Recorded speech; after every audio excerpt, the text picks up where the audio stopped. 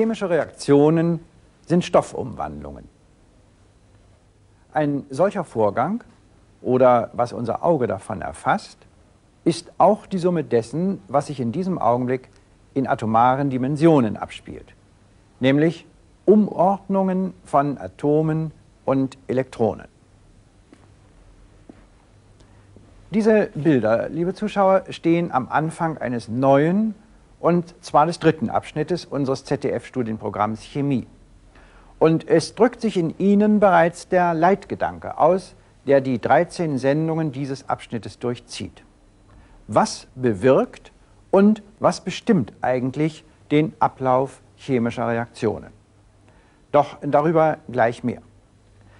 Es werden heute etliche unter Ihnen diesen Sendungen zum ersten Mal begegnen und deshalb vielleicht fürchten, keinen Anschluss mehr zu finden. Es sind ja zwei Abschnitte bereits vorangegangen. Nun, diese Furcht ist unbegründet, denn wir haben ein einfaches Konzept, nämlich in jedem Abschnitt die gesamte Chemie unter jeweils einem ganz bestimmten Blickwinkel neu zu betrachten. Um chemische Vorgänge als Umwandlung von Stoffen begreifen zu können, hatten wir uns zunächst den Stoffen selbst zugewandt. Das heißt, wir hatten den Aufbau der Materie zu ergründen versucht. Alle Materie besteht aus Atomen, die als Folge elektrischer Kräfte zusammenhalten und so bestimmte Strukturen aufbauen. Wie die atomaren Bausteine angeordnet sind, jeder von ihnen ist übrigens nur etwa ein Zehnmillionstel Millimeter groß, das prägt in oft überraschender Weise die sichtbaren und messbaren Eigenschaften des betreffenden Stoffes. So stellt dieses Modell die bekannte Nylonfaser dar. Die kettenförmige Anordnung der Atome spiegelt sich wieder in der faserigen Natur des Produktes. Hier das Modell für eine andere Verknüpfungsweise. Bei ihr bilden die Atome besonders feste kovalente Bindungen in einer Ebene, also zweidimensional aus. Dies ist der Grund für die Blättrigkeit solcher Stoffe wie hier zum Beispiel bei Glimmer.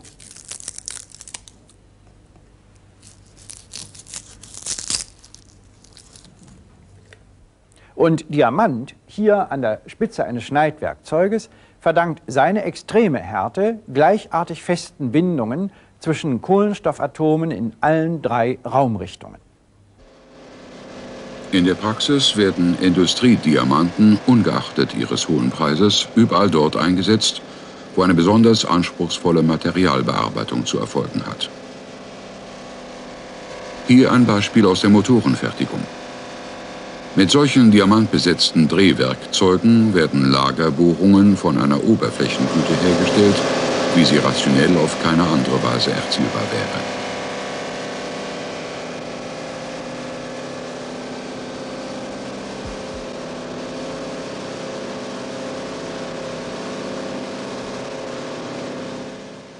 Chemie heißt aber auch danach zu fragen, warum sich die Atome eines bestimmten Stoffes hier die von Natrium, mit den Atomen eines zweiten Stoffes, in diesem Falle Chlor, in einem bestimmten Verhältnis miteinander umsetzen. Bei der Reaktion, die Sie hier in einer zeitgerafften Filmaufnahme beobachten können, entsteht Natriumchlorid, also ganz gewöhnliches Kochsalz.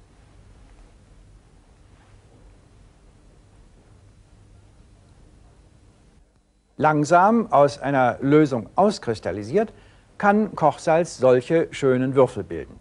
Diese Kristallform rührt daher, dass die atomaren Bausteine, Natriumionen und Chloridionen, regelmäßig zu einem Gitterverband zusammentreten. Nun sind Atome freilich kompliziertere Gebilde als die Kugeln unseres hier eingeblendeten Modells. Dazu hatten wir Ihnen im zweiten Abschnitt unserer Sendereihe gezeigt, dass die Atome aller Elemente einen positiv geladenen Kern besitzen. Er füllt nur einen winzigen Raum im Atom aus, dennoch ist in ihm praktisch die gesamte Masse des Atoms verdichtet. Umgeben wird der Kern von einer Hülle aus negativ geladenen Elektronen. Die Aufenthaltsräume der Elektronen lassen sich näherungsweise berechnen und mit solchen Dichtebildern bis zu einem gewissen Grade auch anschaulich darstellen. Zahl und Verteilung der Elektronen charakterisieren die Atome eines jeden Elements. Diese Kenntnis führte uns letztlich zu einer Art Weltkarte der Chemie, zum Periodensystem der Elemente, das wir Ihnen hier in einer verkürzten, das heißt auf die Hauptgruppenelemente beschränkten Form noch einmal aufgestellt haben. Für den Chemiker ist das Periodensystem eine immer weiter ausschöpfbare Informationsquelle, die Auskunft darüber gibt, welche Elemente miteinander reagieren oder reagieren könnten, wie sich dabei die Elektronen ihrer Atome neu verteilen und welche Eigenschaften die neuen Verbindungen haben. Wie es aber zur Bildung neuer Stoffe kommt, das heißt über den Weg dahin, über die chemische Reaktion, über all das haben wir bisher kaum Näheres gehört. Nehmen wir noch einmal dieses Experiment, bei dem in Wasserglas Körnchen einiger Metallsalze geworfen wurden und da wächst nun ein regelrechtes chemisches Gärtlein heran. Was ist nun eigentlich die Triebkraft, die solche eigenartigen Gebilde wachsen lässt? Was beeinflusst die Geschwindigkeit eines chemischen Vorganges? Und schließlich drittens, wie lassen sich solche Reaktionen anstoßen oder gar erzwingen, die anders als diese von selbst überhaupt nicht anlaufen? Bevor wir diesen Zusammenhängen nachgehen, lassen Sie mich bitte noch ein paar allgemeine Worte zu unserem Studienprogramm Chemie machen. Alle Mitarbeiter an dieser Reihe bemühen sich, Ihnen in den Sendungen ein vielfarbiges und interessantes Bild von der Chemie zu zeichnen. Vor allem natürlich mit dem Ziel, auf Ihrer Seite Freude und Verständnis für diese Naturwissenschaft zu wecken. Da dies in einer überschaubaren Zahl von Sendungen geschehen soll und natürlich auch muss, ergibt sich notwendigerweise oft eine dichte Folge farbiger Bilder. Sie bedeutet aber eine Gefahr. Was man nämlich glaubt, auf Anhieb verstanden zu haben, erweist sich in der Erinnerung häufig als noch ungenügend verankert. Für uns einer der Gründe dafür, diese Sendungen von vornherein im Medienverbund anzulegen. Zu jedem der drei bisherigen Abschnitte ist im Buchhandel ein Begleitbuch erhältlich. Und so möchten wir allen ernsthaft Interessierten unter Ihnen empfehlen, sich möglichst anhand des zugehörigen Buchkapitels auf eine Sendung vorzubereiten, sich diese ein- oder auch zweimal anzuschauen und hinterher den Stoff noch einmal nachzulesen. Doch damit zurück zu den heute neu angeschnittenen Problemen für den dritten Teil unserer Reihe. Den Anfang macht eine im Grunde simple Frage. Was sind wesentliche Kennzeichen einer chemischen Reaktion? Hier setzt sich unter Feuererscheinung das Gemisch zweier Elemente, nämlich von Aluminium und Schwefel, zu einer chemischen Verbindung um. Der Reaktionsablauf ist am Fortschreiten der Feuerfront erkennbar und erinnert an das Abbrennen einer Zündschnur. In der Formelschreibweise des Chemikers ausgedrückt verbinden sich je zwei Atome Aluminium mit je drei Atomen Schwefel zu Aluminiumsulfid von der Zusammensetzung Al2S3. Wegen der enormen Reaktionswärme erscheint es zunächst als glutflüssige Lava, die beim Abkühlen bald erstarrt.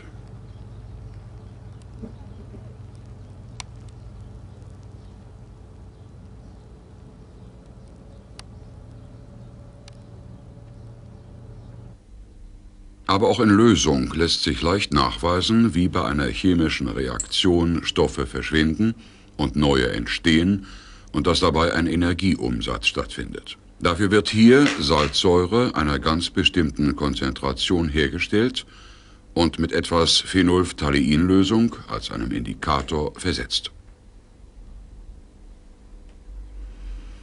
Der Einsatz eines Magnetrührers soll bei der eigentlichen Reaktion für eine ständig gute Durchmischung sorgen. In die Säure tauchen jetzt die Elektroden eines Leitfähigkeitsprüfers. Die Ausgangstemperatur im Versuchsansatz beträgt 22,8 Grad Celsius.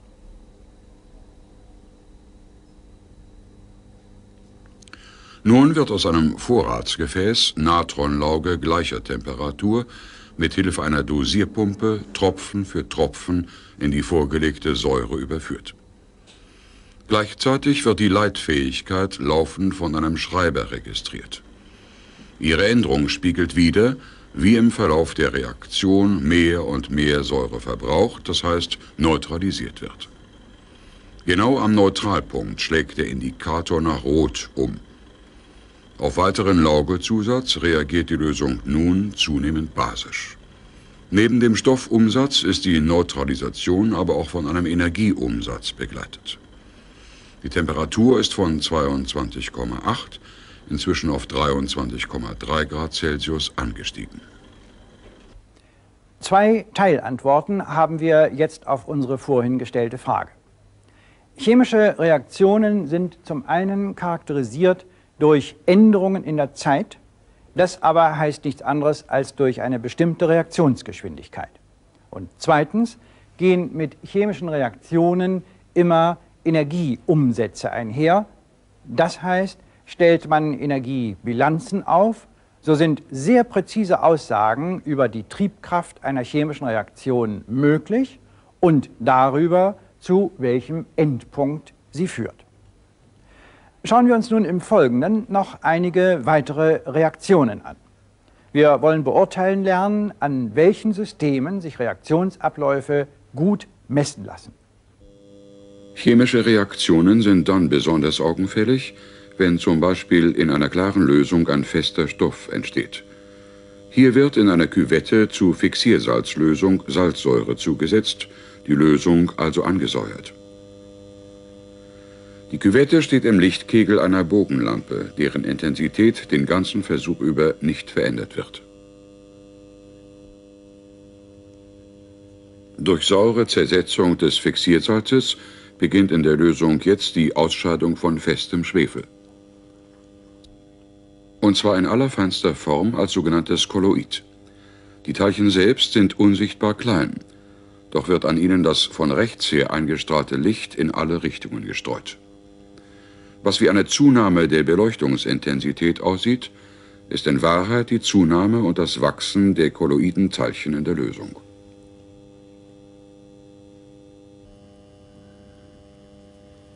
Das Umgekehrte geschieht bei diesem Versuchsansatz.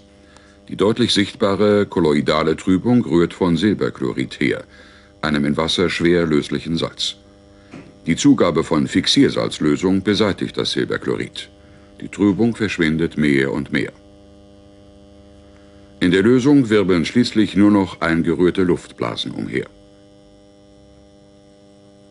Bei den beiden eben nacheinander gezeigten Reaktionen wird die Geschwindigkeit davon bestimmt, wie sich die Zahl der Phasen verändert.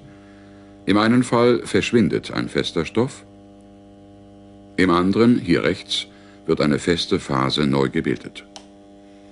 Das Reaktionsgeschehen ist jeweils an der Änderung der Lichtstreuung gut zu verfolgen. Gleich zwei neue Phasen entstehen beim Vermischen dieser beiden Flüssigkeiten, nämlich einem hochmolekularen, dickflüssigen, mehrwertigen Alkohol und einem reaktionsfähigen sogenannten Diisocyanat.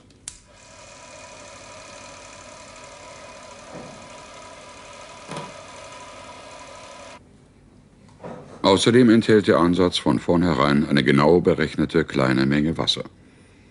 Es reagiert mit einem Teil des Diisocyanats, wobei gasförmiges Kohlendioxid freigesetzt wird.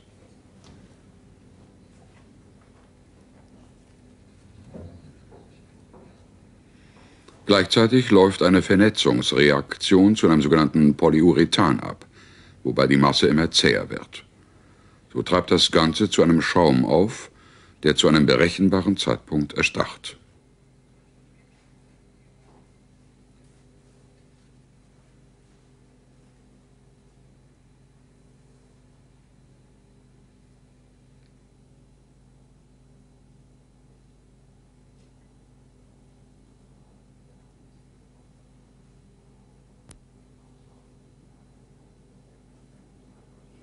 Der Vorgang ist ein Beispiel für das, was der Chemiker als heterogene Reaktionen bezeichnet.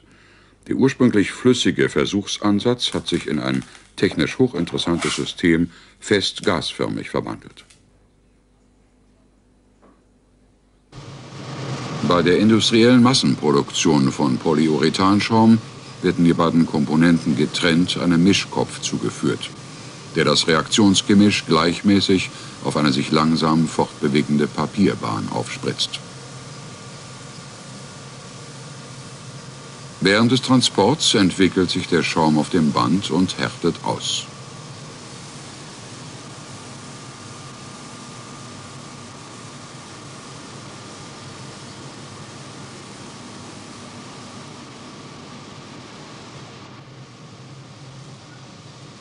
Am Ende der Strecke wird er in große Blöcke geschnitten.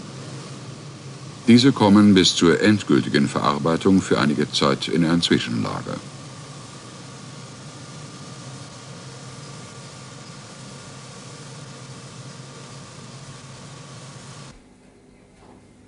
Nun sind heterogene chemische Reaktionen, wie beispielsweise die Bildung solcher Polyurethanschäume, äußerlich leicht zu verfolgen. Doch liefert die Geschwindigkeit solcher Reaktionen kaum Aufschluss darüber, was im molekularen Bereich eigentlich geschieht. Und so sind die meisten Messmethoden des chemischen Labors auf homogene Systeme zugeschnitten. Systeme also, bei denen im Verlauf der Reaktion keine Änderung der Phasen auftritt.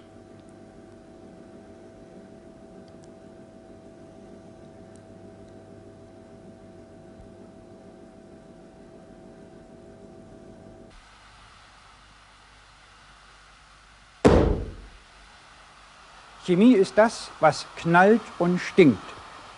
So wollen ja immer wieder viele die Chemie gern definieren. Zugegeben, Effekte wie diese sind schon irgendwie sehr typisch chemisch, aber mehr für das Experimentieren und gewiss nicht für das Produzieren. Und dann verlaufen bezeichnenderweise gerade diese Reaktionen in der atomaren bzw. molekularen Dimension dermaßen kompliziert, dass sie sich zum Beispiel mit einfachen Zeitgesetzen gar nicht erfassen lassen. Und so ist es nicht weiter erstaunlich, wenn der Chemiker entgegen der landläufigen Meinung über seine Wissenschaft weit weniger spektakuläre Reaktionen auswählt, wenn er die Gesetzmäßigkeiten chemischer Vorgänge entschlüsseln und beschreiben will. Und dann ähneln die Experimente mehr dem Folgenden, indem das Entstehen bzw. Verschwinden einer Substanz anhand ihrer Farbe mengenmäßig, also quantitativ ermittelt wird. Solche Spektralphotometer sind im Laboratorium ein unentbehrliches Hilfsmittel, um die Farbigkeit von Stoffen exakt zu ermitteln. Das Messprinzip ist der Intensitätsvergleich an zwei zunächst gleichen Lichtstrahlen in Abhängigkeit von der Wellenlänge. Die zu untersuchenden Substanzen kommen gelöst in Küvetten von bekannter Schichtdicke. Zur Messung wird jeweils eine Küvette in einen der beiden Lichtstrahlen in den sogenannten Probenstrahl gestellt. Der farbige Stoff verschluckt, das heißt absorbiert Teile des einfallenden Lichts. Die relative Schwächung zum Vergleichsstrahl wird registriert. Die Kurve, wie sie hier der Schreiber aufzeichnet, ist also das Auslöschungsspektrum, das die untersuchte Lösung im Bereich des sichtbaren Lichts besitzt. Warum diese Substanz dem Auge rot-violett erscheint, verrät ihr Absorptionsspektrum im Vergleich zu dem von weißem Licht. Das Maximum der Absorption liegt im Spektralbereich von Gelb. Was das Auge sieht, ist der nicht verschluckte Rest, die sogenannte Komplementärfarbe. Nun wird die Lösung mit Wasser auf die Hälfte verdünnt.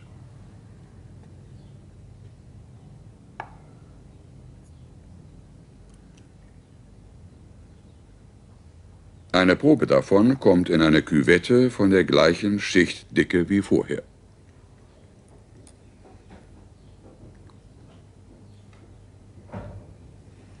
Es soll nun wieder das Absorptionsspektrum aufgezeichnet werden.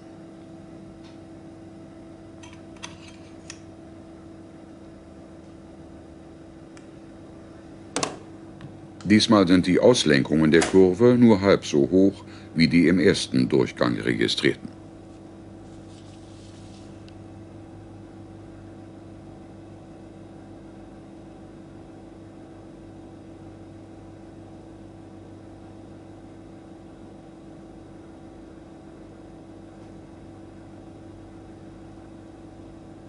Für eine dritte Messung wird die verdünnte Lösung nun in eine Küvette von jetzt aber der doppelten Schichtdicke gegeben.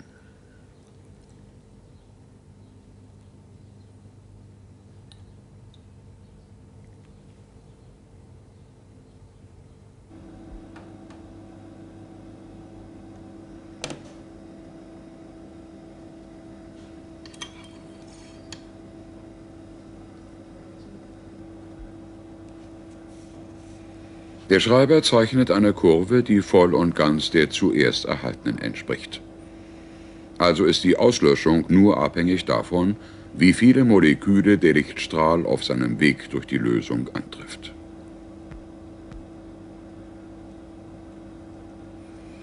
Oder mathematisch ausgedrückt ist die Extinktion E proportional der Konzentration C mal der Schichtdicke D. Dies ist das sogenannte Lambert-Beersche Gesetz. Treten bei chemischen Reaktionen durch Bildung oder Zerfall eines Stoffes Farbänderungen auf, so können diese viel genauer als mit dem menschlichen Auge und selbst noch in Wellenlängenbereichen, für die es gar nicht empfindlich ist, mit einem Spektralphotometer exakt vermessen werden.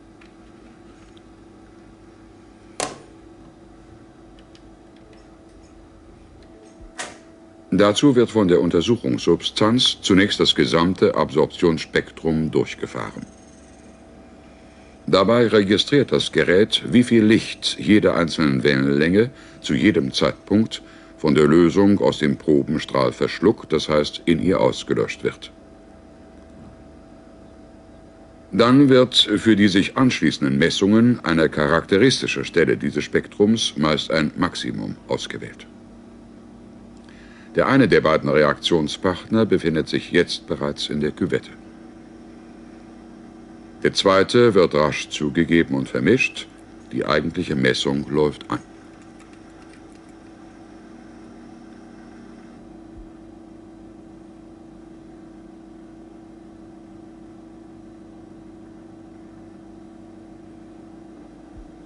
Der Kurvenverlauf lässt erkennen, dass bei der Reaktion der farbige Stoff zunächst rasch und dann immer langsamer verbraucht wird, bis schließlich die Nulllinie erreicht ist.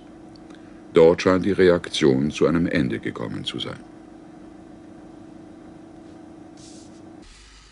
Zur Auswertung der erhaltenen Kurve wird zunächst der Zeitpunkt bestimmt, an dem nur noch die Hälfte der ursprünglich vorhandenen farbigen Substanz im Reaktionsgemisch vorgelegen hat. Die Zeitspanne bis dahin heißt Halbwertszeit. Nach einer weiteren Halbwertszeit ist die Konzentration wiederum auf genau die Hälfte der bis dahin vorhandenen zurückgegangen. Und so fort. Ohne Zweifel folgt also die chemische Reaktion einem Zeitgesetz. Es ist übrigens dasjenige, das vielen Wachstums- und Zerfallsprozessen zugrunde liegt. Aber auch das Auslaufen eines Wasserbehälters ist einzig abhängig von der jeweiligen Füllhöhe. Und so folgt auch der Wasserstand, hier abgegriffen von einem Schwimmer und auf einen abrollenden Papierstreifen aufgezeichnet, diesem einfachen Zeitgesetz.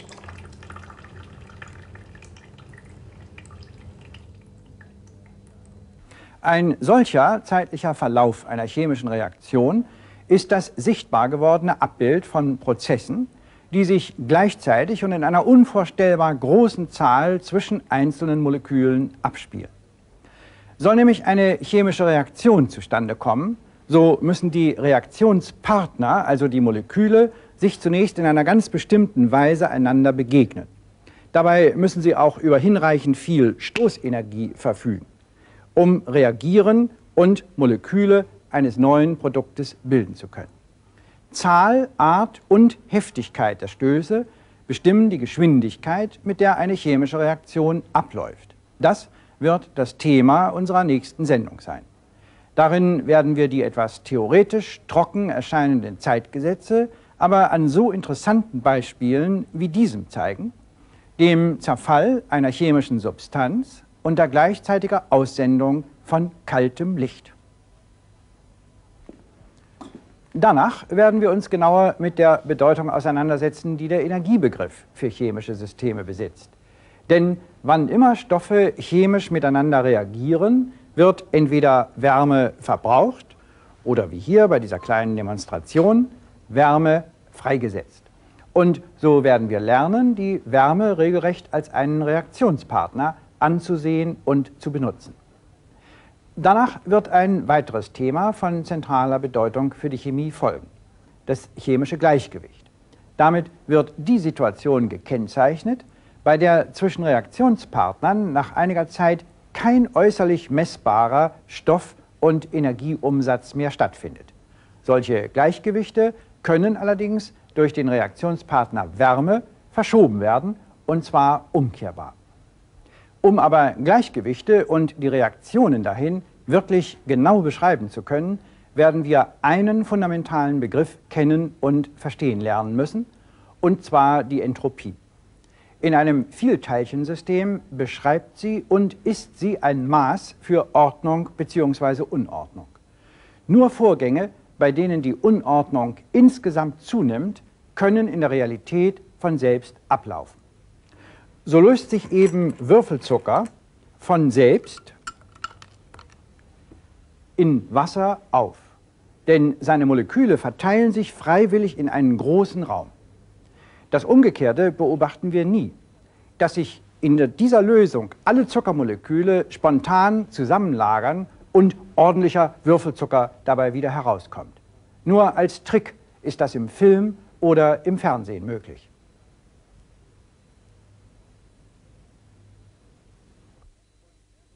Und so werden wir uns hier im ZDF-Studienprogramm Chemie im dritten Abschnitt das Rüstzeug verschaffen, mit dem sich der Ablauf chemischen Geschehens quantitativ erfassen lässt.